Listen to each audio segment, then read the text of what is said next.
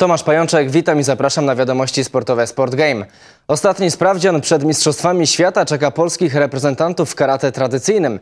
W sobotę w hali AWF odbędzie się piąta, piąta edycja turnieju Pucharu Mistrza, poświęcona pamięci senseja Hidetaki Nishiyamy. Wstęp na zawody będzie bezpłatny.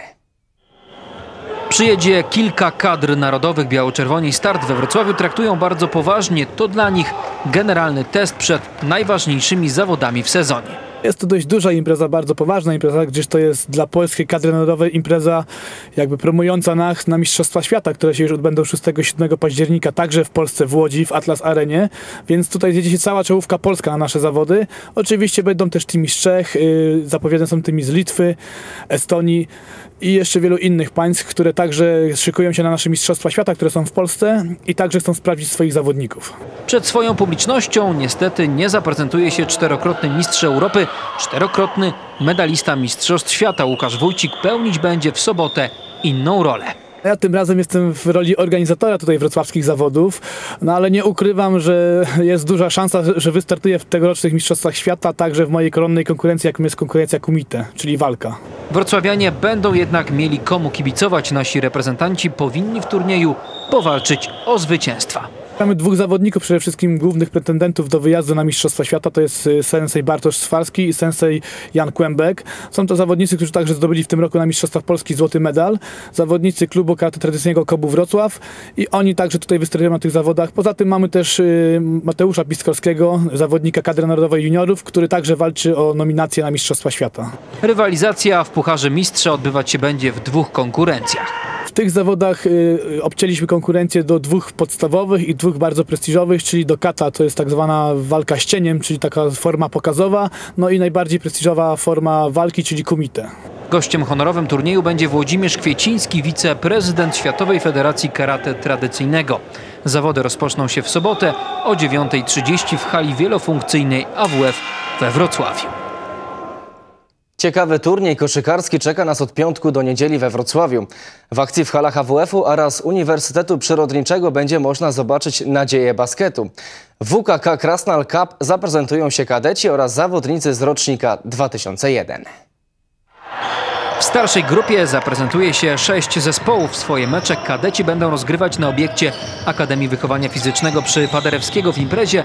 Wezmą udział drużyny złożone z koszykarzy urodzonych w 1997 roku i młodszych. W piątek dojdzie do wrocławskiego starcia WKK. O 10 zagra ze Śląskiem. Ponadto w zawodach wezmą jeszcze udział SKS Inowrocław, Wisła Kraków, Trefl Sopot i Ursynowy Warszawa. Każdy zagra z każdym mecze. Trwać będą 4 razy po 10 minut. Czeka nas cały piątek, sobota i niedziela koszykarskiej zabawy. Podobnie będzie w grupie mini koszykówki, czyli rocznika 2001 i młodszych. Ci gracze będą walczyć przy Chełmońskiego w hali Uniwersytetu Przyrodniczego. Mecze zaplanowano 4 razy 8 minut. Przyranki staną przyjezdni z Pogoni Ruda Śląska, Olimpijczyka Ostrów Wielkopolski, UKS-u Pawłowice i Trefla Sopot turniej także tej kategorii rozpocznie piątkowy mecz WKK ze Śląskiem Wrocław. Najlepsze trzy zespoły obu turniejów otrzymają puchary i nagrody. Wybrana zostanie pierwsza piątka imprez oraz najlepsi zawodnicy, którzy zostaną uhonorowani indywidualnymi nagrodami. Turniej koszykówki już w weekend, a na początku przyszłego miesiąca w stolicy Dolnego Śląska zostaną rozegrane niezwykle prestiżowe zawody w tenisie na wózkach. We Wrocław Cup 2012 wystąpi kilkoro czołowych tenisistów świata. Pula nagród wyniesie ponad 16 tysięcy dolarów. Kilkoro zawodników to ścisła światowa czołówka. Tak wysoko sklasyfikowanych w rankingu ATP, czyli tenisistów pełnosprawnych, nie ma szans na spotkanie w Polsce. Najlepsze rakiety swojej konkurencji zjadą do Wrocławia. Najwyżej rozstawionym zawodnikiem w kategorii mężczyzn będzie Holender Tom Egerbrick. On jest rozstawiony z numerem 16. To jest 16 rakieta na świecie. Wśród kobiet będzie to zawodniczka niemiecka. Jest to 18 rakieta świata. Nie ma najlepszej dziesiątki, ale nawet ta ekipa, która się zgłosiła, zapewni emocje sportowe na najwyższym poziomie. Mam nadzieję, że nie najgorszym niż na turnieju olimpijskim. Polacy, choć nie są wymieniani w roli głównych faworytów, także mogą postarać się o spektakularny sukces we Wrocław Cup 2012. Z grona czołowych naszych tenisistów wyróżnia się przede wszystkim wrocławianin Tadeusz Kruszelnicki. Szanse oczywiście to tylko teoria, ale będziemy trzymali kciuki za wszystkich Polaków. Ich zgłosiło się najwięcej do turnieju, a chyba największe szanse ma Tadeusz Kruszelnicki, Piotrek Jaroszewski oraz Albin Batycki. Wrocławski turniej ma na celu nie tylko zaprezentowanie publiczności tej dyscypliny czy czołowych tenisistów świata. My jako organizator uważamy, że takim podstawowym celem jest y, aktywizacja osób niepełnosprawnych poprzez sport. Uważamy to za najlepszą formę aktywizacji i rehabilitacji i dzięki turniejowi wiele osób zainteresowało się tenisem. Nie wszyscy kończą jako zawodowi zawodnicy, jako zawodowcy, ale wielu zawodników y, gra w zawodowych turniejach, a jeśli nie w zawodowych, to po prostu przyjeżdża na treningi i realizuje mm, swoje marzenia, spełnia samego siebie i po prostu się rehabilituje. Wrocław Cup 2012 będzie rozgrywany od 2 do 6 października na kortach Gębrzy Mianowskiego i kortach Redeko przy Hallera. Zawody odbędą się w hali. Bardzo zacięte spotkania rozegrano w tym tygodniu w amatorskiej lidze piłki nożnej Spartan Cup. Wysoką formę na początku rozgrywek pierwszej ligi potwierdził zespół Kruczki. W drugiej lidze natomiast doskonale radzi sobie zespół KRD.